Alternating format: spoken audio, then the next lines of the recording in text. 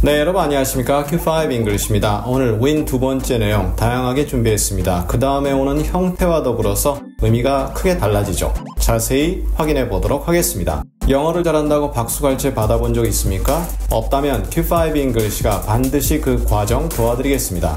애청, 구독, 좋아요, 알림 설정 꼭 확인 부탁드립니다. They have won the accolades in Hollywood. 그들은 할리우드에서 에컬레이즈를 이겼다. 이겼다가 아니죠. 얻었다. 노력해서 얻었다. 이러한 내용인데 에컬레이즈는 일반적으로 복수 형태로 쓰게 됩니다. 갈채라든가 칭송의 개념인데요. 이 단어의 어원은 embrace, 포용하다 이런 뜻이 있잖아요. 사람들이 끌어안아주고 다독거려주고 그러하다라는 느낌이죠. 따라서 그들이 누군지 또는 무엇인지 모르겠지만 할리우드에서 사람들의 갈채를 받고 칭송을 받았다. 아마 사람일 가능성이 높겠죠. 칭송을 얻었다 할 때도 win accolades. accolades는 거의 복수 형태로 쓴다. 이렇게 기억하시면 좋고요. The university won rave reviews.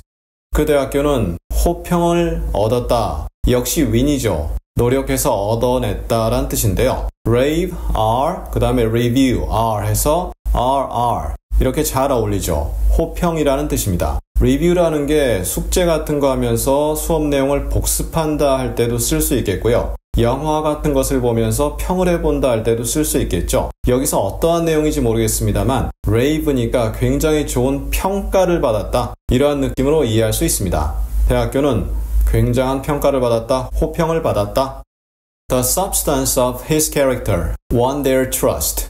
윈과 트러스트가 아주 잘 어울립니다. 그의 인성의 내용은 그들의 신뢰를 얻었다 직역인데요. 이 캐릭터란 단어 저희 과거 강의에서도 다룬 바 있는데요. 인성이다라고 번역은 하긴 하지만 이게 정확하게 우리말과 일치하지 않습니다. 따라서 이럴 때는 그냥 영어적으로 캐릭터다 생각하시고요. 그 정의를 확인해 보시면 되겠습니다. 다시 한번 과거 강의에서 다룬 내용이다 라고 말씀드리고요. 그 인성의 내용물, 내용물이 뭐죠? 내용물이라는 건 속이 꽉꽉꽉 차 있을 때의 상태입니다. 따라서 그의 인성이 꽉꽉꽉 들어차서 그가 인성으로 넘쳐나는 거죠. 그의 인성의 내용물이 즉 인성이 그의 인성이 그냥 그렇게 해도 됩니다. 하지만 영어적으로는 substance란 표현이 살아나면 좋겠죠. 그들의 신뢰를 얻었다. 이럴 때도 노력해서 얻었다라는 느낌이 강조되겠죠. 그리고 이러한 문장은 국어로 번역하면 그렇게 어려워 보이지 않는데 실제 영어로 말을 만들려고 하면 잘 나오지 않습니다. 따라서 특히 이 문장 반복 많이 해주시길 제안드리고요. Picking the next winning stock is not an easy task.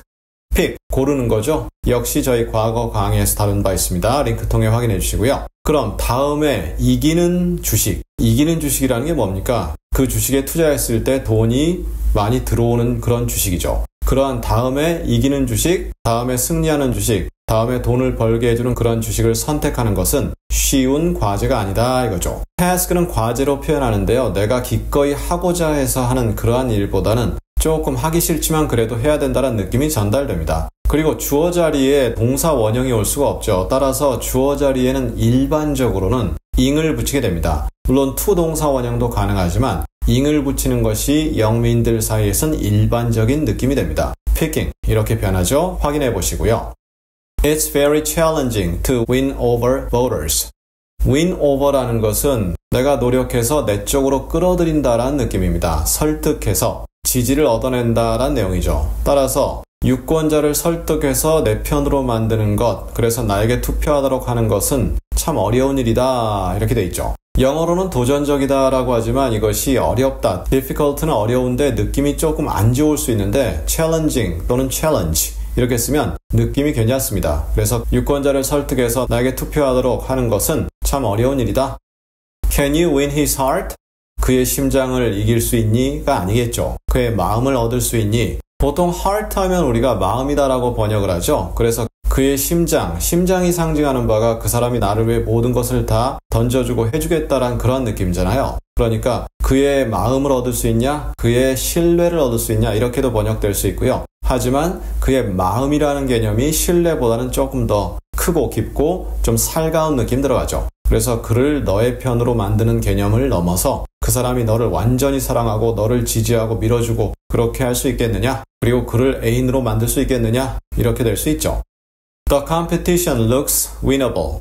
그 경쟁은 이길만하게 보인다. Win에다가 abl이 붙인 개념입니다. n 하나 더 쓰고요. 그러니까 이럴 때 주어는 주로 경쟁, 싸움, fight죠. 또는 선거, election 이런 것들이 주어가 돼서 이길 가능성이 높다라고 표현할 때 쓸 수 있는 내용입니다. 경쟁은 승리의 가능성이 높다. 자 이렇게 해서 오늘 윈 두 번째 내용을 자세히 다루어 보았습니다. 은근히 쉬워 보이죠? 하지만 은근히 어렵습니다. 따라서 오늘 내용 너무 익숙하다 이렇게 생각하시고 넘어가시면 나중에 머리에서 절대 안 나옵니다. 반복은 다시 한번 필수다 말씀드리고요. 자 이렇게 해서 윈은 여기서 마무리하고요. 우리 다음 시간에는 스트라이크가 역시 다양한 의미가 있습니다. 어떤 의미가 있는지 하나하나씩 나누어 보도록 하겠습니다. 감사합니다.